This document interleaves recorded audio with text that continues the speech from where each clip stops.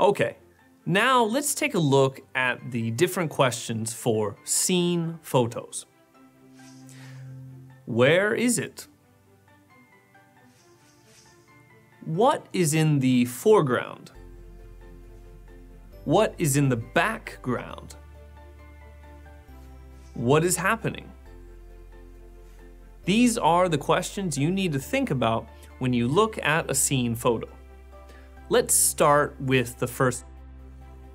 Let's take a look at the first question. Where is it?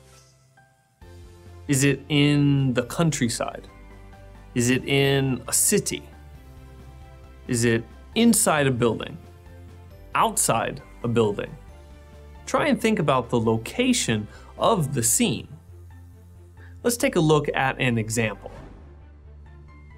People are relaxing on a white sandy beach.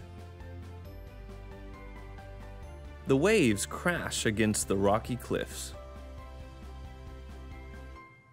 The man is climbing the wall. The beach is crowded with people.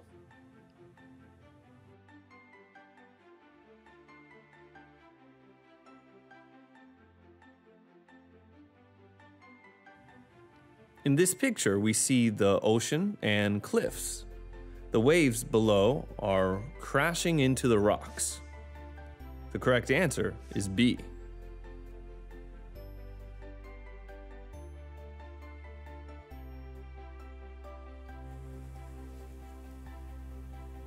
Next, let's take a look at the second and the third question. The second question was, what is in the foreground of the picture? The foreground means the front area of the picture. The third question was, what is in the background of the picture?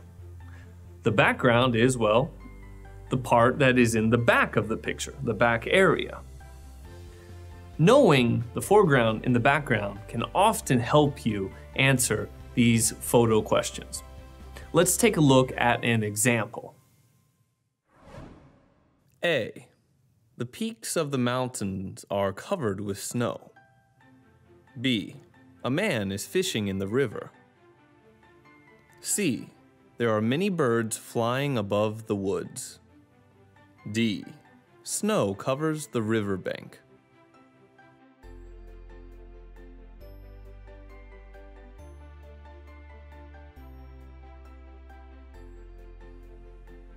In the foreground, we see a river. In the background, we see mountains. The mountain peaks are white with snow. The correct answer is A.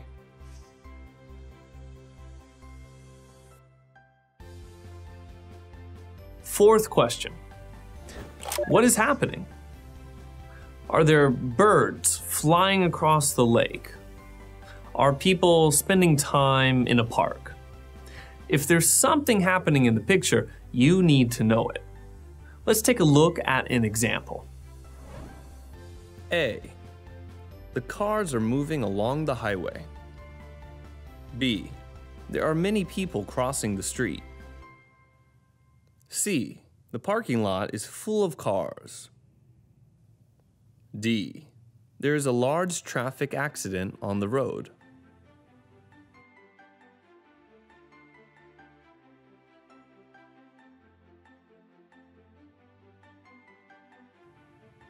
We see some people driving their cars on the highway.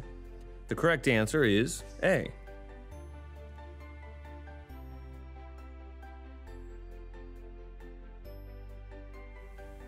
Okay, now let's review the scene photo questions. Number one, where is it? Number two, what is in the foreground? Number three, what is in the background? And number four, what is happening? Try and remember these questions and ask yourself these questions whenever you look at a scene photo.